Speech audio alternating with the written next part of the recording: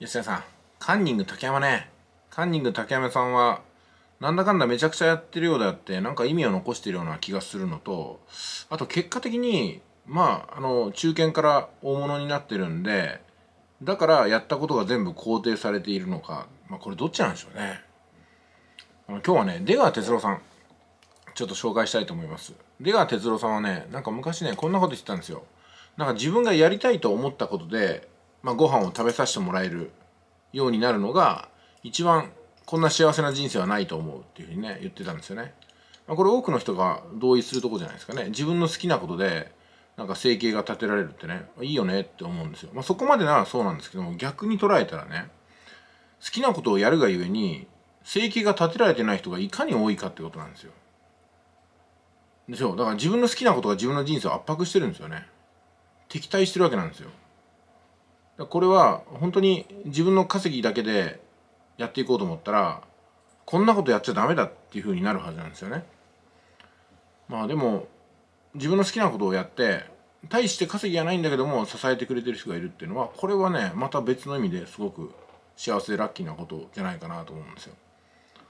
うんまああの残念ながら私がやってるビジネスっていうのは誰一人助けはなかったということでね潰れまくってしまいましたけどもねまあそれでもなんかお客さんに感謝したりとかねスタッフさんに感謝したりとかなんか運命に感謝したりとかしなければならないんだろうなと思いますよね。少なくとも心ではそう思ってなくてもいや皆さんのおかげですよって言っておかないと印象が悪くなるんでね。いやでもおかげなわけないじゃないですか。おかげっていうのは言ってみれば生とも言えますよね。そいつらのせいみたいなね。うん。だからね間違いなく思えるのはまあ麻雀店の話に戻るんですけどもあのまずプレイヤーとして麻雀やってるうちはねずっと利益が出てたんですけどもその人に麻雀をやらせるオーナーになってからねもう全然金がなくなってきたんですよね。ほんとこんなにねなんかこう麻雀が敵に回ったことはなかったかなと思って、まあ、ある種憎しみありましたねその麻雀に対して、大好きだった麻雀が自分に牙を向いてきたような感覚ですよね。やればやるほどというかやらせればやらせるほど赤が出るみたいな。まあ、こんな感覚ってのはなかなかないと思うんですけども、うん、なんかやっぱねプレイヤーでやってるうちはね本当にあの気楽ですよね。勝っても負けても。何の責任もないんで。言ってみれば金で肩がついちゃうんで。負ければお金払えばそれでもチャラですからね。いやでもね店舗経営って負けてもお金払ってチャラじゃ済まないですからね。やっぱ人の人生扱ってるわけなんですよ。で20代ぐらいで採用したこの数年間っていうのを言ってみれば無駄にさせちゃうわけですからね、うん、だからなんか人を雇う喜びっていうのはあったんですけどももうとんでもない話でしたね。もう誰一人雇っちゃいけないなと思いましたしまあそういう時代でもないんでね。人を雇って何かするって時代でもないんで、まあ、それこそ飲食店行ったら何ですかあの配膳ロボットってあるんですよね。なんか機械でこう電波でこうやって運んでくれるんですよ。で、えー、と焼肉とかをねお客さんの席に持ってきてくれるみたいな、まあ、そういうのがあって値段調べたら350万らしいんですよ。だから人一人の社員一人の年収ぐらいなんでだから数年間店舗をやろうと思ったらその1年分の人件費でもうずっと賄えちゃうんで、まあ、こういうふうな配膳ロボットウェイターロボットウェイトレスロボットっていうのは、まあ、導入してもいいんじゃないかなと思うところはあったんですけどもよくよく考えたらね私こう思ったんですよ。あの店舗のウェイトレスやウェイターさんの役割って何かなと思ったらただ単純にメニューを持っていくだけじゃなくて、まあ、例えば客席に行った時にねあなんかテーブル汚れてるなとかテーブルの下に食べ残しがなんか散らばってるなとかあお醤油の瓶がちょっと垂れてるなとかね補充しないといけないものがあるなって気づくわけじゃないですか。それを客席を巡回してる時にいろいろチェックするわけなんですよね。でもロボットでただ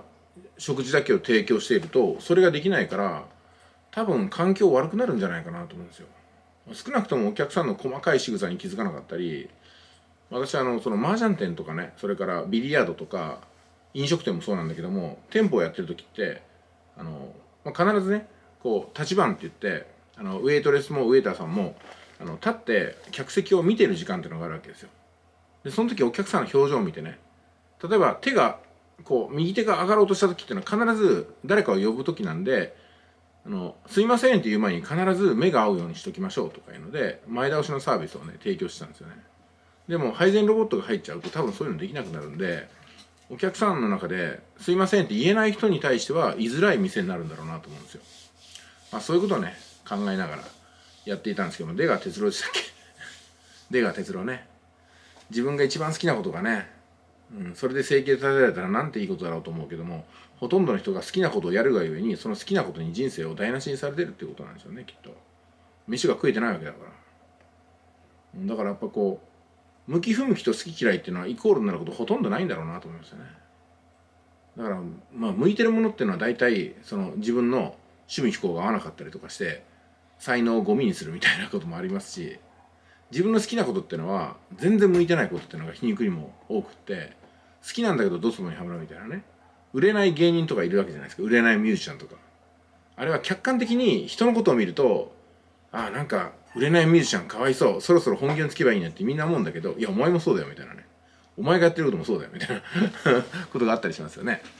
まああの YouTuber としてデビューしたいと思っていろんな人来ましたけども幸いながら皆さん引退して固い道を選んだっていうのは寂しいことでもあるけどもまあそこまでの思いしかないんだったらやめてよかったんじゃないかなと思う次第ですね。まあタカさんとかね結構気合い入れてやってるんじゃないかなと思うんでなんかちょっとこれからも見どころを見ていきたいなと思うところでございますじゃあいってらっしゃい。